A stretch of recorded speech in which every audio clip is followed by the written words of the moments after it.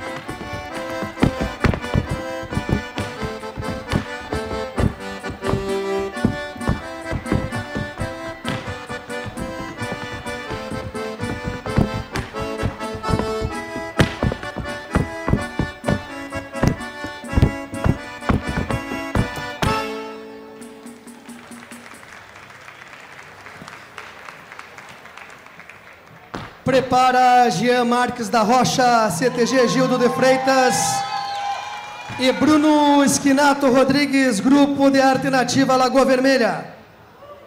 E para que faça o último passo, Vinícius da Silva, Grupo de Arte Nativa da Cultura, 14ª Região Tradicionalista.